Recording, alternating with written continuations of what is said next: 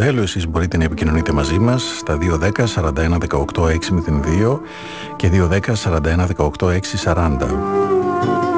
Θα συνεχίσουμε με το βιβλίο του Άντωνι Μπλουμ «Η Εκκλησία είναι μία από τις εκδόσεις Ακρίτας, το χασμί για την Εκκλησία, τους χριστιανούς και τον κόσμο».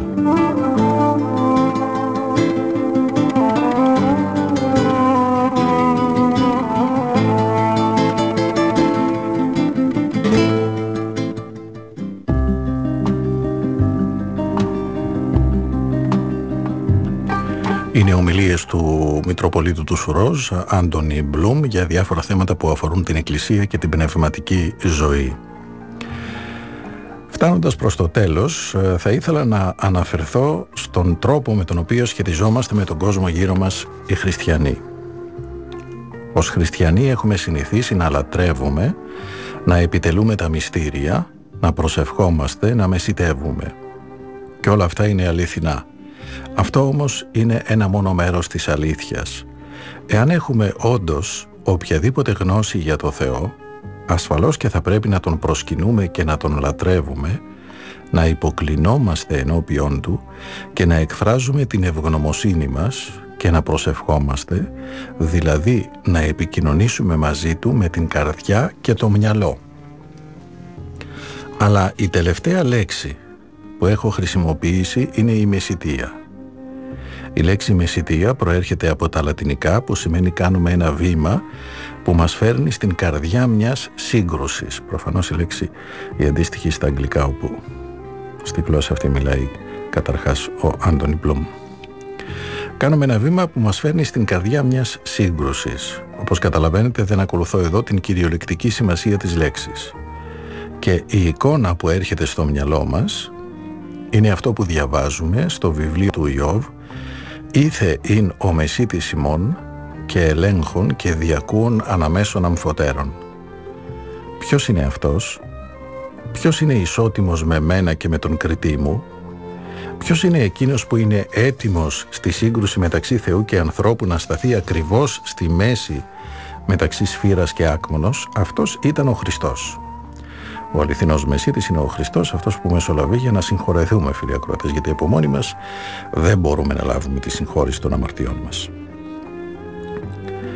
Και συνεχίζει ο πατήρ Αντώνιος, όταν όμως μιλάμε για μεσητεία, δεν λέμε ότι προσευχόμαστε στο Θεό προκειμένου να κάνει κάτι, αλλά εκφράζουμε στο Θεό την ετοιμότητά μας να είμαστε εκείνοι που θα βρεθούν στο μέσο της σύγκρουσης διατεθειμένοι να σταθούμε μεταξύ σφύρας και άκμονος.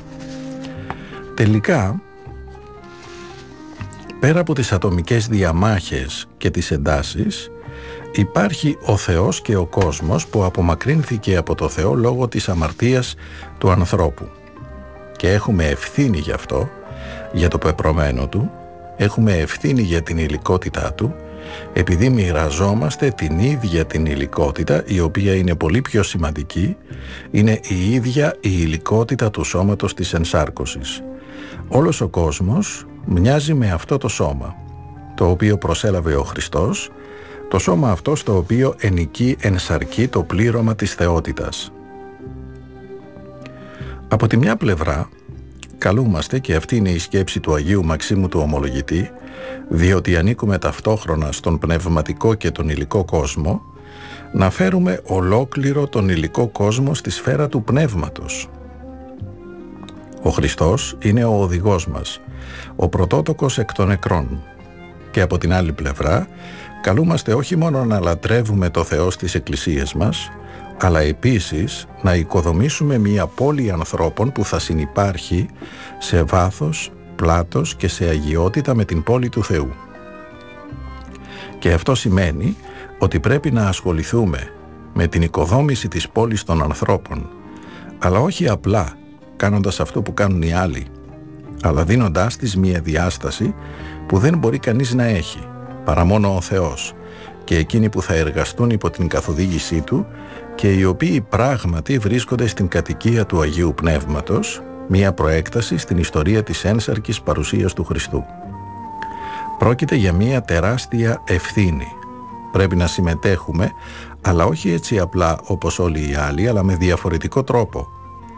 Ο Χριστός δημιούργησε μία κοινωνία, μια τέλεια κοινωνία, τους 12, τους 70, την Εκκλησία, όχι κατά το πρότυπο μιας κοσμικής κοινωνίας που βασίζεται σε πράγματα υπερβατικά, αλλά ως έναν τόπο όπου ο Θεός είναι ελεύθερος να δράσει.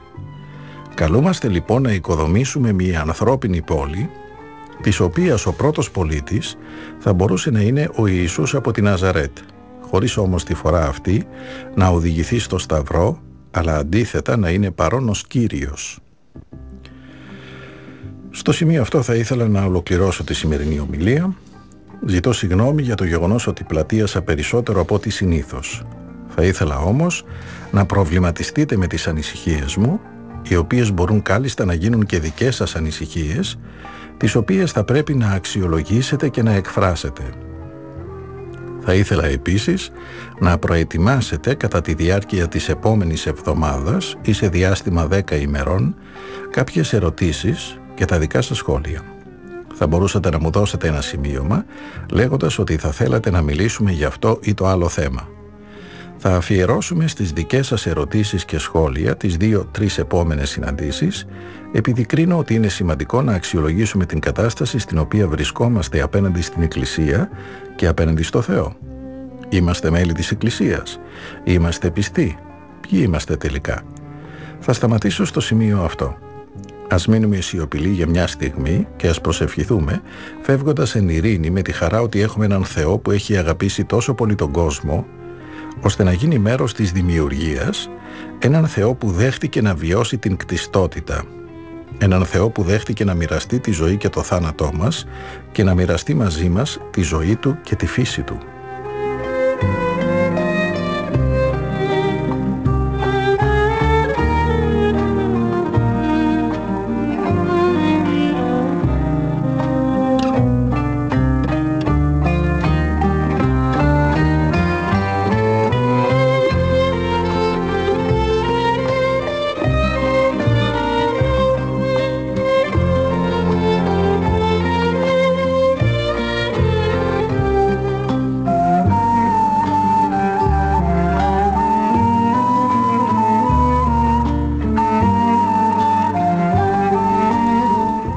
Τις απαντήσεις στις ερωτήσεις που έγιναν στον πατέρα Αντώνιο Μπλουμ 14 Μαΐου 1992 Όπως σας είπα την τελευταία φορά η πρόθεση μου σήμερα και τις επόμενες εβδομάδες είναι είτε να ασχοληθώ με τα δικά σας σχόλια είτε να απαντήσω στις ερωτήσεις που μου έχετε στείλει. Θα ξεκινήσω λοιπόν απαντώντας στις ερωτήσεις που έλαβα αλλά είστε ελεύθεροι να με διακόψετε όποτε το κρίνετε απαραίτητο. Διότι αυτό που θα ήθελα είναι να έχουμε κάποιο είδος ανταλλαγής απόψεων μεταξύ μας και όχι να μονοπολίσω τη συζήτηση. Και τούτο διότι νομίζω από τη μία μεριά ότι είναι καλό να μοιραζόμαστε μεταξύ μας τις απόψεις μας για τη ζωή της Εκκλησίας και από την άλλη επειδή δεν θεωρώ ότι έχω τόση εμπιστοσύνη στον εαυτό μου η οποία θα μου επέτρεπε να διατυπώνω αφορισμούς για πράγματα τόσο περίπλοκα, όπως λόγου χάρη μία εκτίμηση για την Εκκλησία, όπως αυτή είναι τώρα, σε αντίθεση με την ιδεώδη κατάστασή της, την οποία και κηρύττουμε. Έλαβα λοιπόν μερικές ερωτήσεις και μία από αυτές με εντυπωσίασε πραγματικά γιατί δεν την περίμενα μετά από τόσα χρόνια στην Ορθόδοξη Εκκλησία. Επρόκειτο για ένα σημείωμα μιας σελίδας όπου ο συγγραφέας εξηγούσε ότι κάθε φορά που ακούεις στι ακολουθίε ή στι ομιλίε μου την έκφραση «Η μητέρα του Θεού», αισθάνεται σοκαρισμένος και προσβεβλημένος απέναντι στο πρόσωπό της και ότι γι' αυτό το λόγο θα έπρεπε να χρησιμοποιήσουμε τον όρο «Μητέρα του Χριστού», «Μητέρα του Ιησού», αλλά σε καμία περίπτωση «Μητέρα του Θεού». Και τούτο διότι η Μαρία δεν είναι η ίδια μητέρα του Θεού, καθώς είναι προφανές ότι στο Θεό η θεότητα του Χριστού προέρχεται εκ του αιωνίου πατρός του. Η άποψη αυτή διατυπώθηκε για πρώτη φορά πριν από πολλούς αιώνες, αλλά απορρίφθηκε ως ένδειξη πλήρους έλλειψης κατανόησης ή ακόμη και αίρεσης, αν κάποιος επιμένει πεισματικά να την εκφράζει. Ομολογούμε ότι ο Χριστός είναι ταυτόχρονα εξίσου άνθρωπος και Θεός, όπου, και αυτά είναι λόγια του Αγίου Ιωάννης στο Ευαγγέλιο, το πλήρωμα της θεότητας ενίκησε εν σαρκή, ομολογούμε ότι η θεότητα και η ανθρωπότητα ενώθηκαν εν αυτό εφάπαξ, αδιαιρέτως και συγχρόνως ασυγχύτως. Το σημείο αυτό θα ήθελα να το εξηγήσω λίγο περισσότερο προκειμένου να αποφύγουμε μεγαλύτερη σύγχυση. Η θεότητα και η ανθρωπότητα εν Χριστώ παραμένουν πραγματικά αυτό που είναι. Ο Θεός δεν πάβει να είναι ο ζών Θεός, ο Λόγος του Θεού, ο δημιουργικός Λόγος του Θεού. Και η ανθρωπότητα στο Χριστό δεν πάβει να είναι πραγματικά ανθρώπινη. Σε μία από τις προσευχές του μυστηρίου του χρήσματος υπάρχει μία αξιοσημείωτη φράση στην οποία λέγεται ότι ο Θεός με την ενσάρκωση μετέχει στην κτιστότητα βιώνει τι σημαίνει να είναι κανείς κτίσμα, δημιούργημα δηλαδή, ενώνοντας τον εαυτό του με μια ανθρώπινη ψυχή και ένα ανθρώπινο σώμα. Από την άλλη πλευρά, η ένωση αυτή είναι πλήρης, τέλεια, ολοκληρωτική, όπου η ανθρωπότητα παρέμεινε πλήρως και απόλυτα κτιστή και ανθρώπινη και η θεότητα τέλεια θεϊκή. Στην ενότητα αυτή, θεότητα και ανθρωπότητα αλληλοπεριχωρούνται. Δεν υπήρχε τίποτε στην ανθρωπότητα του Χριστού που να μην έχει πληρωθεί από τη θεότητα. Δεν υπήρχε τίποτα στη θεότητα του Χριστού που να παρέμενε ξένο προς την ανθρωπότητά του. Έχω ήδη αναφερθεί πάνω από μία φορά στα λόγια του Αγίου Μαξίμου του Ομολογητή, ο οποίος λέει ότι μπορούμε να σκεφτούμε την ενσάρκωση χρησιμοποιώντας την εικόνα ενός σιδερένιου σπαθιού που βυθίζεται σε έναν κλίβανο και στη συνέχεια το βγάζουμε. Όταν βυθίζεται στον κλίβανο είναι κρύο γκρίζο χωρίς λάμψη, ενώ όταν αφαιρείται από αυτόν είναι γεμάτο με θερμότητα. Με τη φωτιά του φούρνου και φλέγεται και η φωτιά διαπερνάει όλο το σπαθί και είναι ενωμένη με το σπαθί με τέτοιο τρόπο ώστε να μπορεί κανείς τώρα να κοπεί με φωτιά και να καεί με σίδηρο. Η απόλυτη αυτή ενότητα που καθιερώνεται, και αυτό είναι πάλι η διδασκαλία του Αγίου Μαξίμου, η ενότητα αυτή δεν δημιουργεί σύγχυση μεταξύ του σιδήρου και της φωτιάς. Ο σίδηρος παραμένει σίδηρος, η φωτιά παραμένει φωτιά και παρόλα αυτά αλληλοπεριχωρούν το ένα το άλλο με τέτοιο τρόπο ώστε ο σίδηρος να αποκτά μια δόξα που δεν είναι ορατή πριν, αν και υπάρχει εκεί εν δυνάμει, βρίσκεται ουσιαστικά εκεί.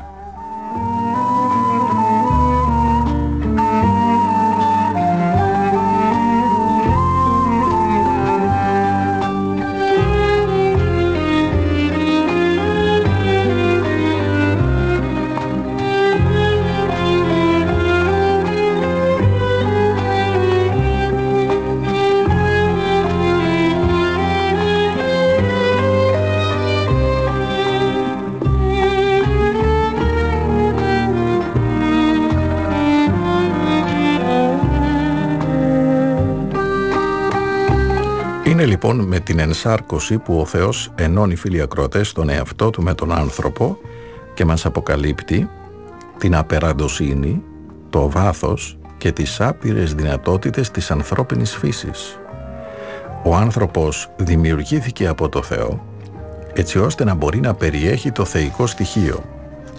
Δεν ενώνεται λοιπόν με κάποια κτιστή χάρη, αλλά με τον ίδιο τον Θεό που τον πλημμυρίζει και τα λόγια του Αποστόλου Πέτρου ότι καλούμαστε να γίνουμε κοινωνοί της Θείας Φύσεως αναφέρονται ακριβώς σε αυτό.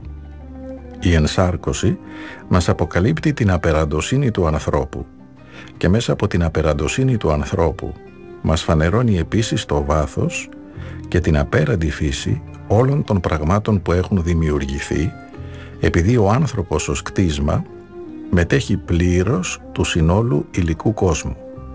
Δεν είναι τυχαίο ότι το βιβλίο της Γενέσεως μας λέει ότι ο Θεός έφτιαξε πυλό από το χώμα της γης και δημιούργησε τον άνθρωπο προκειμένου να δείξει με τον τρόπο αυτό ότι ο άνθρωπος είναι σύμφυτος με τα πολύ βασικά στοιχεία, αν μπορώ να το θέσω έτσι, με τη μικρότερη δυνατή μονάδα ύλης. Και ο Χριστός, ο ένσαρκος Θεός, μετέχει σε αυτή την ίδια την υλικότητα και γίνεται έτσι συγγενής όχι μόνο με την ανθρωπότητα, αλλά και με όλα τα υλικά δημιουργήματα. Και αυτό ίσως μας δίνει την ελπίδα ότι τα λόγια του Αποστόλου Παύλου, σύμφωνα με τα οποία μία μέρα ο Θεός θα γίνει τα πάντα εν πάση, θα βρουν τελικά εφαρμογή στην πληρότητά τους, ότι όλα τα πράγματα που έχουν δημιουργηθεί θα πρέπει να είναι ενωμένα με το Θεό με ένα τέτοιο τρόπο ώστε ο Θεός θα είναι σε αυτά και όλα αυτά θα είναι στο Θεό. Όχι μόνο ο άνθρωπος αλλά όλα τα κτίσματα. Τώρα, για να επιστρέψουμε σε ένα άλλο σημείο, η ενσάρκωση, η ενότητα ανάμεσα στο Θεό και τον άνθρωπο, το κτιστό και το άκτιστο, έλαβε χώρα χωρίς σύγχυση. Η εικόνα του Αγίου Μαξίμου, στην οποία αναφέρθηκα πριν, αναφέρεται ακριβώς σε αυτό, ότι το υλικό δεν πάβει να παραμένει υλικό. Η φωτιά δεν πάβει να παραμένει φωτιά. Και ο Χριστός, ο Ιησούς από την Ναζαρέτ, δεν είναι ούτε υπεράνθρωπος, ούτε κάτι λιγότερο από Θεός, αλλά είναι απολύτως και πλήρως άνθρωπος, απολύτως και πλήρως Θεός.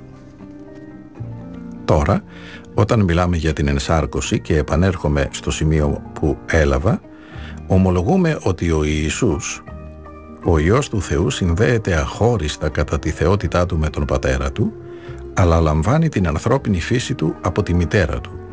Νομίζω ότι είναι και πάλι ο Άγιος Μάξιμος ο ομολογητής που λέει ότι χωρίς το αμήν της μητέρας του Θεού η ενσάρκωση θα ήταν τόσο αδύνατη όσο και χωρίς τη θετική θέληση του Πατέρα. Αποτελεί λοιπόν έναν αποφασιστικό παράγοντα για την ενσάρκωση, διότι ο Θεός των πάντων, επειδή δεν επιβάλλει τη θέλησή του στα πλάσματά του, μας έχει δώσει την ελευθερία με την οποία μπορούμε να καθορίσουμε το πεπρωμένο μας. Διάβασα πρόσφατα, εντελώς συμπτωματικά, ένα απόσπασμα από έναν Εβραίο μελετητή του Μεσαίωνα, στον οποίο απευθύνουν το ερώτημα γιατί στο τέλος της αφήγησης της δημιουργίας της δημιουργίας κάθε όντος, ο Κύριος κοιτάζει και λέει ότι το κάθε τι είναι καλό, ενώ δεν λέει κάτι παρόμοιο όταν δημιουργείται ο άνθρωπος. Και το εξηγεί με τον δικό του τρόπο λέγοντας «Ο Θεός έδωσε τον οριστικό χαρακτήρα τους σε κάθε δημιούργημα εκτός από τον άνθρωπο. Ο άνθρωπος ήταν εφοδιασμένος με την ελευθερία να γίνει αυτό που θα επέλεγε. Να καταδικάσει τον εαυτό του ή να γίνει κοινωνός της Θείας Φύσης να οδηγηθεί στην απώλεια ή να εισέλθει στην αιώνια δόξα. Και αυτός ο Θεός δεν θα μπορούσε να κάνει κάτι άλλο, γιατί κάθε τι άλλο θα αποτελούσε άρνηση της ελευθερίας. Επομένως, το ερώτημα παραμένει ανοιχτό. Ο Θεός δημιούργησε τον άνθρωπο με όλες τις δυνατότητες τις οποίες έχει ανακαλύψει στην ενσάρκωση. Αυτός είναι ο άνθρωπος όπως μπορεί να είναι ο άνθρωπος. Και η Εκκλησία έχει καταστήσει σαφές, εδώ και αιώνες, ότι όταν κάνουμε λόγο ότι η Μαρία είναι η μητέρα του Θεού, εννοούμε ότι είναι εκείνη που με τη μητρότητά της συνέβαλε στην ενσάρκωση του Θεού στον κόσμο. Φυσικά και δεν ήταν μητέρα της θεότητάς του, όπως ακριβώς και ο Θεός δεν ήταν ο πατέρας της ανθρωπότητάς του. Συνεπώς, συνεχίζουμε με ευγνωμοσύνη να αποκαλούμε τη Μαρία Παναγία, μητέρα του Θεού, επειδή γέννησε τον Υιό του Θεού, γιατί έκανε την ενσάρκωση δυνατή με τα λόγια της Ιδού Ιδούλη Κυρίου, με την τέλεια ανοιχτότητα και διαφάνειά της, προσφέροντας τον εαυτό της. Αυτά σε ό,τι αφορά την ερώτηση αυτή. Υπάρχει επίσης μια ερώτηση κάπως σχετική με τα πιο πάνω, που μου έστειλε κάποιος και αφορά στην πατρότητα του Θεού. Γιατί μιλάμε πάντοτε για τον Θεό στον Πατέρα μας; Δηλώνουμε άραγε κατά τρόπο δογματικό ότι υπάρχει φίλος στο Θεό και ότι το τέλειο φίλο είναι το αρσενικό; Σε αυτή την ερώτηση θα πρέπει να απαντήσω ρητά όχι. Ο λόγος για τον οποίο μιλάμε για το Θεό στον Πατέρα μας συνδέεται άμεσα με τον τρόπο με τον οποίο σχετιζόμαστε με τον Χριστό. Ο Χριστός είχε μία γήινη μητέρα, μία ανθρώπινη μητέρα, τη Μαρία, την Παρθένο, όπως επίσης είχε και έναν ουράνιο πατέρα. Και όταν μιλάει για το Θεό, μιλάει πάντοτε σε πρώτο πρόσωπο, μιλάει για τον εαυτό του με τον τρόπο που σχετίζεται με τον πατέρα του. Σε κανένα απόσπασμα του Ευαγγελίου δεν μιλάει για το Θεό, αν θα μπορούσα να το περιγράψω με τον τρόπο αυτό, με έναν θεολογικό, επιστημονικό τρόπο, προσπαθώντας δηλαδή να ορίσει τη φύση του Θεού. Μιλάει για Αυτόν με βάση τη σχέση που υπάρχει μεταξύ εκείνου και του πατέρα του. Μια σχέση καταγωγής, φύσης και σχέσης. Όταν έδωσε την Κυριακή προσευχής στους μαθητές του, τους είχε μιλήσει για τον τρόπο με τον οποίο είναι ένα μαζί του, με τον εαυτό του, τον Ιησού, και αφού η ενότητα υπάρχει καταρχήν και σπερματικά μεταξύ ημών και εκείνου, σχετιζόμαστε με τον πατέρα του σαν να ήταν εκείνος ο πατέρας μας. Θα σας δώσω μία εικόνα που δεν υπάρχει στις γραφές και η οποία είναι προφανώς ανεπαρκής, αλλά όταν στρεφόμαστε στο Θεό και εκείνος μας αποδέχεται επειδή τον έχουμε επιλέξει, γινόμαστε κατά κάποιον τρόπο οι υιοθετημένα παιδιά. Γινόμαστε παιδιά του, αν και δεν μετέχουμε ακόμα τις θείας φύσης του. Μόνο στο βαθμό που μεγαλώνουμε σταδιακά για να γίνουμε ένα εν Χριστώ, προοδεύουμε σε μια συνεχώς αυξανόμενη, ολοένα βαθύτερη σχέση με τον Πατέρα, με τον Πατέρα Του, με τον Θεό. Και έχω ήδη αναφερθεί σε ένα απόσπασμα από τα κείμενα του Αγίου Ειρηναίου της Λιώνος, που λέει ότι τόσο ως άτομα, όσο και ως σύνολο, καλούμαστε να ενωθούμε με τον Χριστό με τη δύναμη του Αγίου Πνεύματος, και θα ήθελα να προσθέσω εδώ με το να ταυτιστούμε μαζί του όχι μόνο με την ελπίδα ή την πίστη αλλά ουσιαστικά με αυτόν να γίνουμε ακούστε λοιπόν φίλοι ακροτές τι πρέπει να γίνουμε να γίνουμε δηλαδή ο μονογενής Υιός του Θεού όχι πολλαπλοί ιοί και θυγατέρες του Θεού και παιδιά του Θεού αλλά μία συνολική πραγματικότητα και ο λόγος για τον οποίο απευθυνόμαστε στον Θεό ως Πατέρα δεν είναι επειδή έχει φίλο, αλλά επειδή μιλάμε για τον Θεό και προς τον Θεό κατά κάποιο τρόπο εκ του Χριστού και εν Χριστώ. Στην Καινή Διαθήκη, στο ελληνικό πρωτότυπο, υπάρχουν δύο λέξεις που χρησιμοποιούνται για την αγγλική λέξη in. Η μία είναι το en που σημαίνει μέσα σε και η άλλη είναι το ένδοθεν που σημαίνει από μέσα προς τα έξω. Και αυτός είναι ο τρόπος με τον οποίο ερχόμαστε σε σχέση με τον Χριστό στο βαθμό που ο λαός του Χριστού ως χριστιανοί είμαστε εν αυτό η ζωή μας κρύβεται με τον Χριστό στο Θεό. Από την άλλη πλευρά κινούμαστε, ενεργούμε εκ του Χριστού με πράξεις πίστης, υπακοής, αποστολής στον κόσμο. Έτσι όταν μιλάμε για το Θεό ως Πατέρα μας πρέπει να συνειδητοποιήσουμε ότι μιλάμε κατά κάποιο τρόπο πέρα από τα όρια μας. Κάτι που δεν θα μπορούσαμε να κάνουμε εάν ο Χριστός δεν είχε δεχτεί να ταυτιστεί μαζί μας πολύ πριν γίνουμε εμείς ικανοί να ταυτιστούμε μαζί Του. Όταν λέει ο ίδιος στη Μαρία τη Μαγδαληνή και στις άλλες γυναίκες ότι θα πρέπει να πάνε στους αδελφούς του και να μεταφέρουν τα νέα της Ανάστασης, δείχνει ακριβώς αυτό το πράγμα.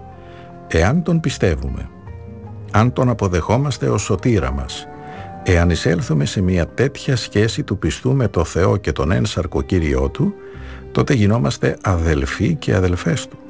Όχι μόνο σε σχέση με την ανθρωπότητα φιλιακρότες, αλλά καταρχήν σπερματικά σε σχέση με τον Πατέρα.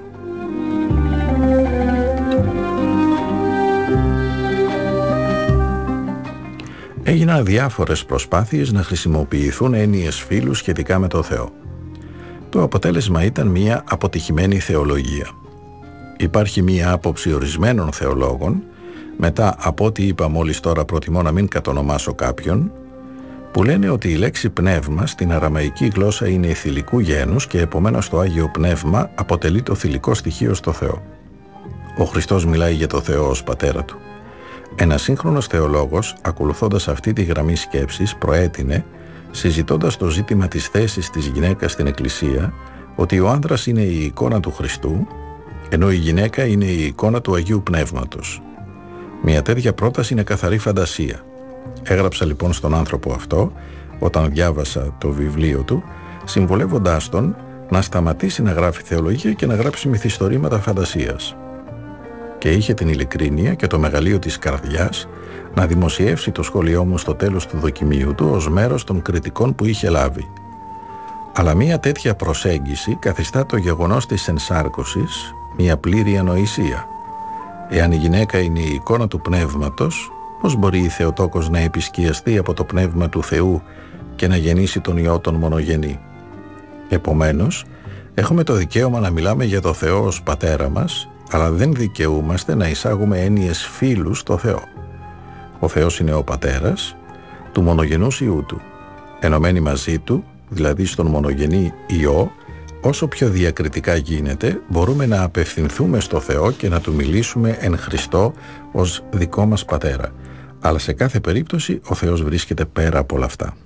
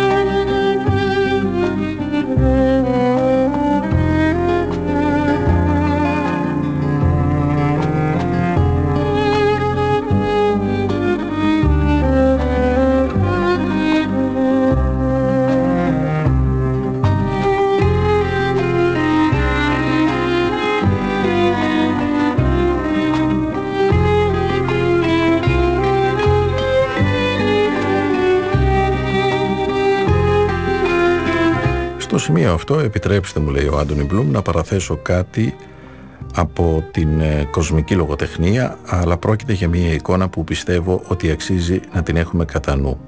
Υπάρχει στα διηγήματα του Έντεκαρ Πόε μια σύντομη ιστορία με τίτλο «Μαγνητική Αποκάλυψη».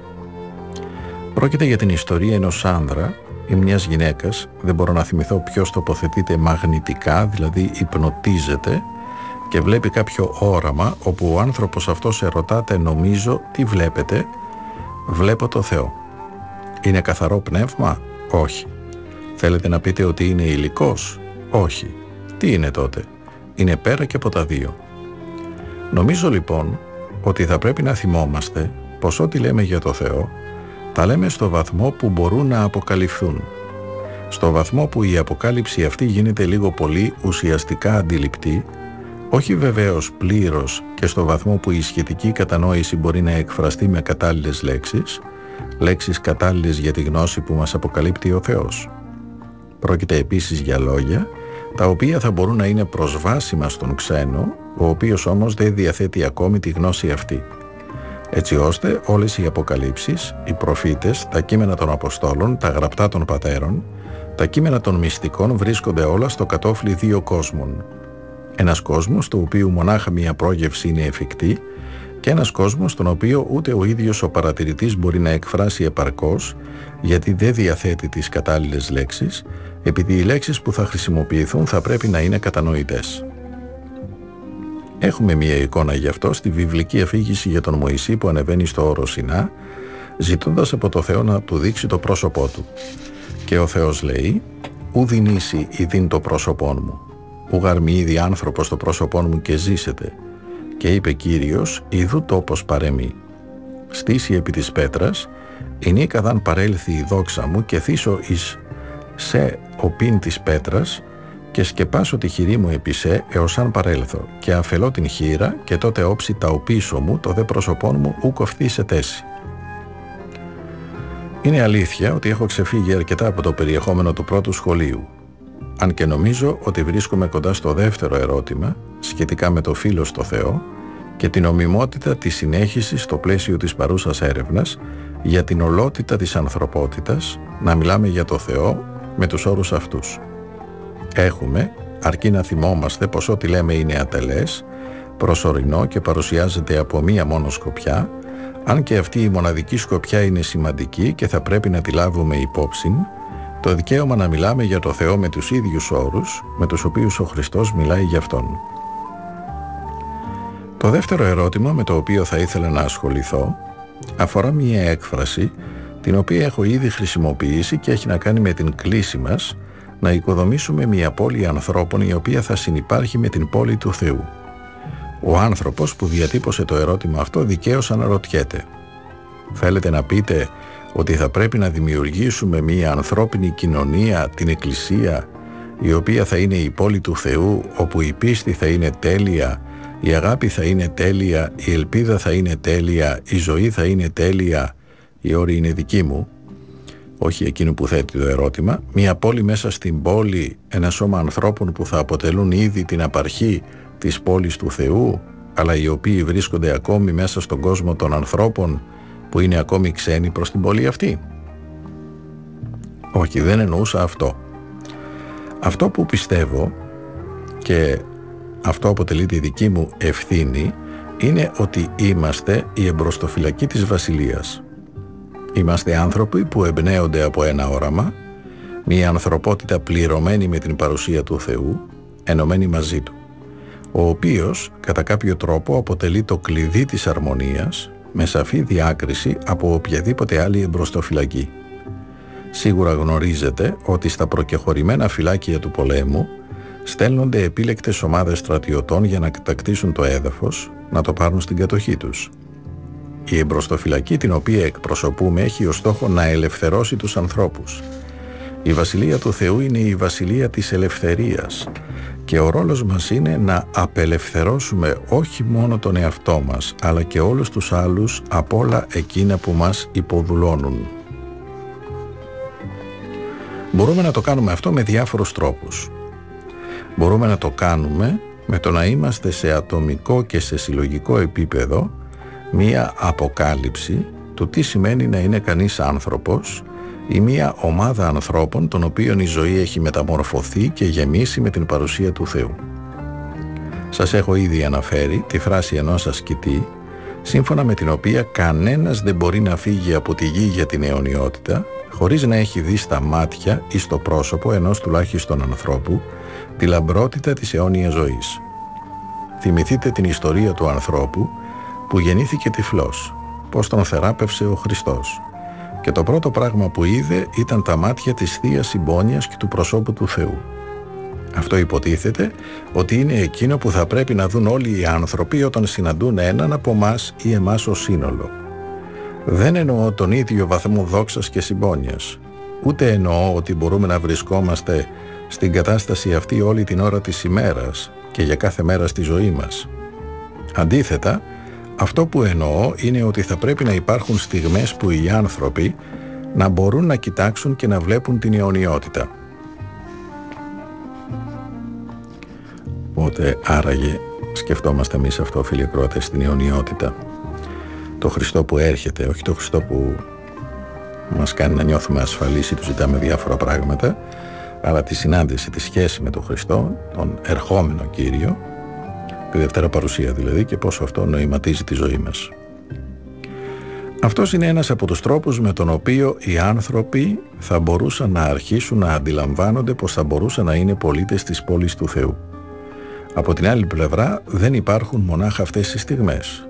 Η ζωή μας, ο τρόπος που μιλάμε και ο τρόπος με τον οποίο ενεργούμε, ολάκερη η ηθική και η ζωή του κάθε χριστιανού και της κοινότητας θα πρέπει να αποτελεί μια φανέρωση ενώπιον των ανθρώπων της ουσίας του Ευαγγελίου, της ουσίας της πίστεως, της ουσίας της Κυριακής προσευχής και βεβαίως της ουσίας του τι συμβαίνει στη λειτουργία. Και αυτό καθώς δεν πρέπει να ξεχνάμε ότι η λειτουργία δεν αποτελεί κάποιο είδος μνημοσύνου, αλλά είναι η είσοδός μας στο μυστικό δείπνο, ο οποίος εορτάστηκε εφάπαξ διαπαντός στο υπερόον. Υπάρχει ωστόσο ένα άλλο επίπεδο όπου μπορούμε να εργαστούμε για την έλευση της πόλης του Θεού.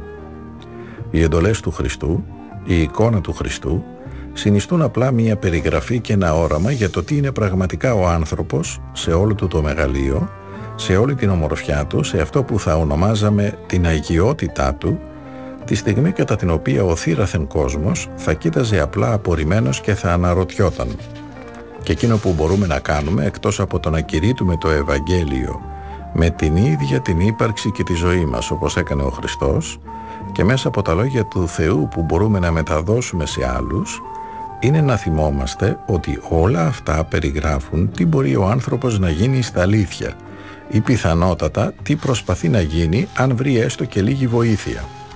Και χωρίς ποτέ να αναφέρουμε το όνομα του Χριστού χωρίς ποτέ να μιλήσουμε για το Θεό, θα μπορούσαμε να διαδώσουμε ένα συγκεκριμένο όραμα, μία ορισμένη αντίληψη, μία ζωή και ούτω καθεξής, που θα εξέφραζε το Ευαγγέλιο χωρίς όμως να κατονομάζεται.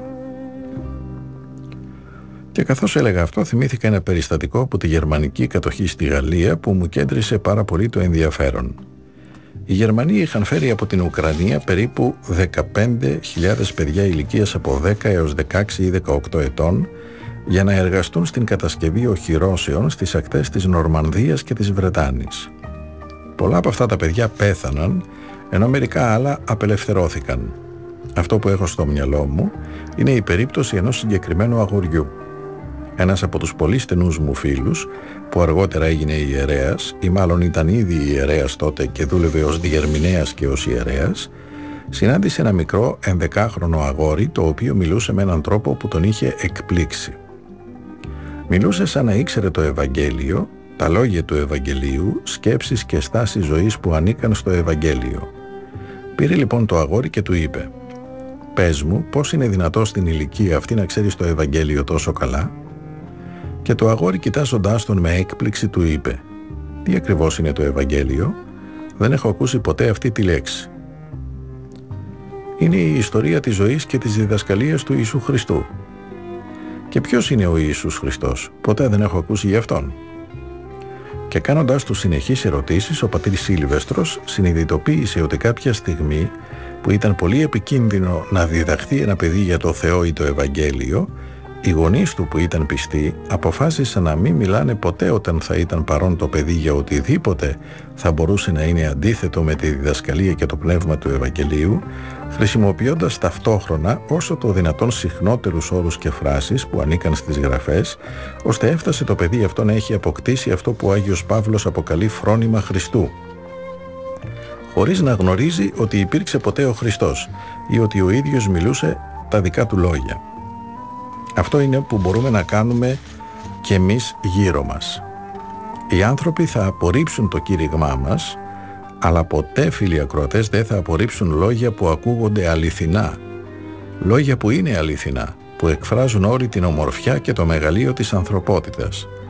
Και κάνοντας αυτό μαζί και με άλλους πιστούς και όχι μόνο με τους χριστιανούς, με όλους όσους πιστεύουν, μαζί με ανθρώπους που είναι αγνωστικιστές, μαζί με ανθρώπους που έδειξαν μια θετική απιστία προς το Θεό εξαιτίας αυτού που είδαν στους μαθητές του, μαζί με όλους αυτούς θα μπορούσαμε να αρχίσουμε να χτίζουμε μια πόλη που θα έχει τη διάσταση της αληθινής ανθρωπότητας. Είπε κάποιος κάποτε ότι ο χριστιανισμός είναι ο μόνος πραγματικός ανθρωπισμός, επειδή αναδεικνύει τον άνθρωπο σε όλο το μεγαλείο του με τον ίδιο τρόπο που μπορεί κανείς να πει ότι ο χριστιανισμός είναι ο μόνος ηλισμός που είναι συνεπής και γίνεται πράξη, επειδή πιστεύουμε στην ύλη, εφόσον πιστεύουμε αληθινά στην ενσάρκωση και την αιώνια αφιέρωσή μας, στην Ανάσταση του σώματος.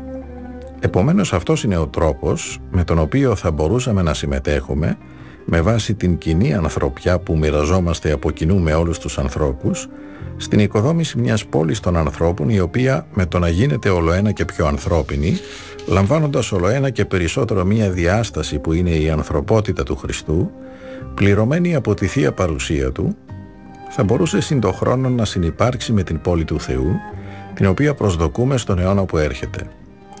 Λυπάμαι που αφιέρωσα τόσο πολύ χρόνο στις τρεις αυτές ερωτήσεις αλλά ένιωσα ότι θα πρέπει να είμαι όσο γίνεται περισσότερο ακριβής και όσο το δυνατόν πιο πλήρης στις απαντήσεις μου.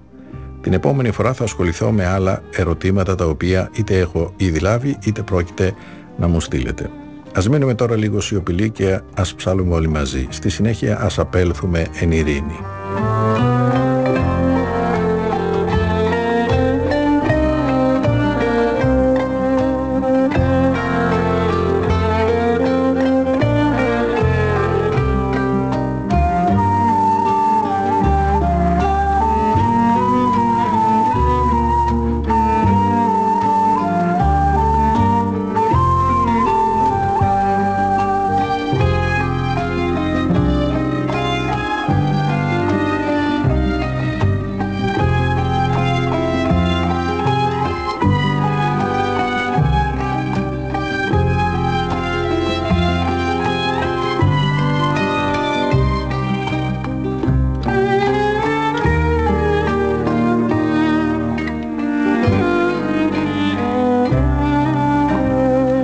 28 Μαΐου 1992.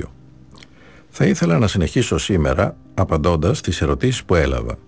Πρώτα όμως θα ήθελα να σχολιάσω ένα-δύο σημεία που προέκυψαν σε μια προηγούμενη συνάντηση τα οποία είτε ήλθαν στην επιφάνεια κατά τη συζήτηση είτε δεν είχα το χρόνο να τα σχολιάσω και τα οποία πιστεύω ότι είναι ιδιαίτερα σημαντικά. Πρώτα απ' όλα το ερώτημα περί του κόσμου. Είχαμε μέχρι στιγμής πολύ ενδιαφέρουσες συζητήσεις για το θέμα τόσο με βάση την Αγία Γραφή όσο και με βάση την καθημερινή εμπειρία. Θα ήθελα λοιπόν στο σημείο αυτό να επισημάνω το γεγονός που δεν μπορούσα να το κάνω τότε ότι χρησιμοποιούμε τη λέξη κόσμος με δύο πολύ διαφορετικές έννοιες. Από τη μία πλευρά είναι όπως το έθεσε ο Πατρί Βασίλειος, ο κόσμος όπως τον δημιούργησε ο Θεός και από την άλλη πλευρά είναι ο κόσμος που αντιτίθεται στη Βασιλεία του Θεού. Αυτός είναι ο λόγος που ο Κύριος μας λέει ότι πρέπει να είμαστε εν το κόσμο, αλλά όχι εκ του κόσμου.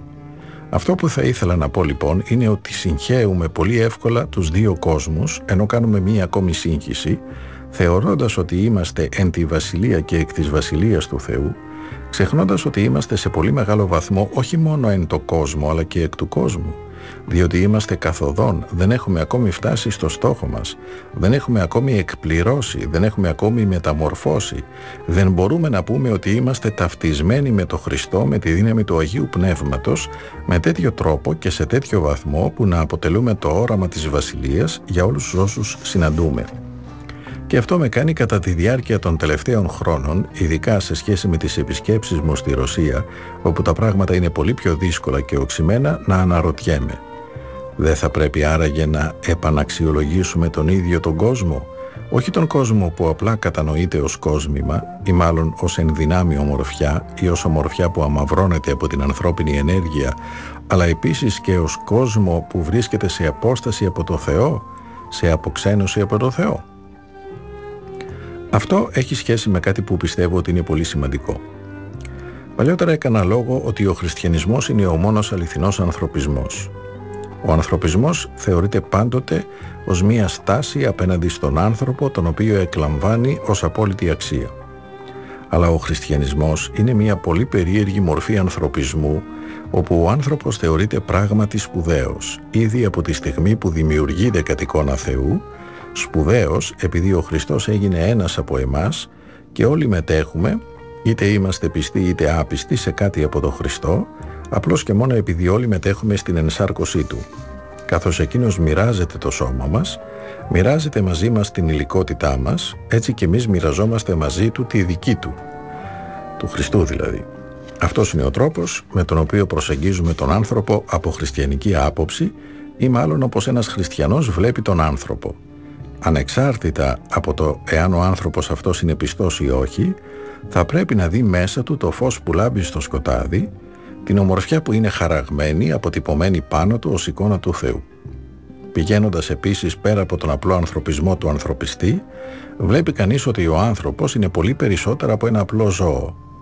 Υπάρχει κάποιο απόσπασμα, νομίζω στον Μάρξ, όπου λέει ότι ο άνθρωπος δεν χρειάζεται το Θεό, επειδή ο άνθρωπος είναι ο ίδιος Θεός, δηλαδή ο υπέρτατος σκοπός προς τον οποίο κατευθύνεται και προοδεύει.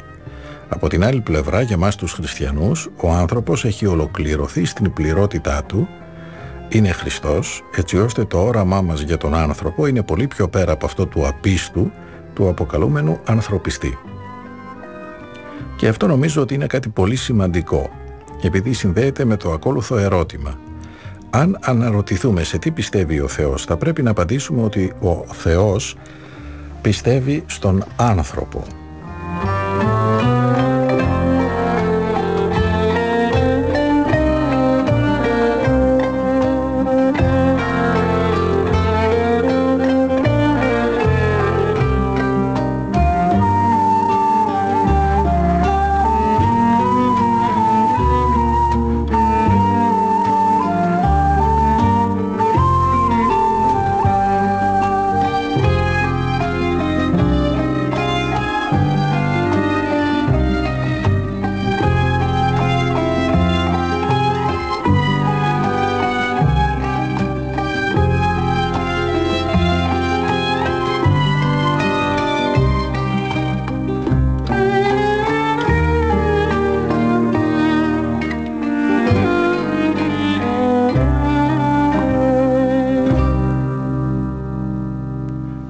Σταματήσουμε εδώ.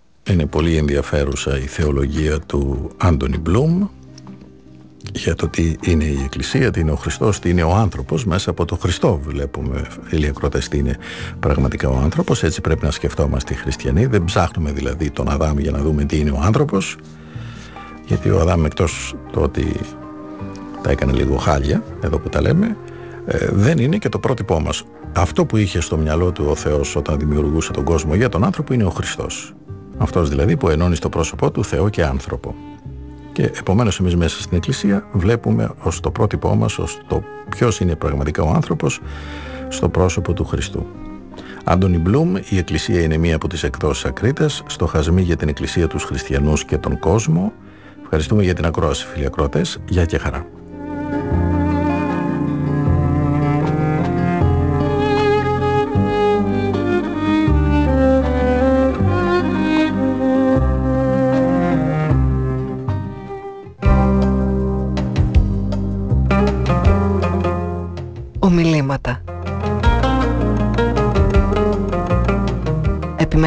Παραγωγή Γιώργος Μπάρλας